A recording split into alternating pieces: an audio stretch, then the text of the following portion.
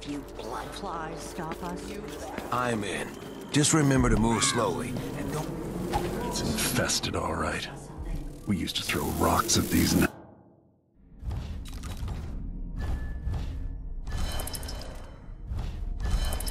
That's when I was young.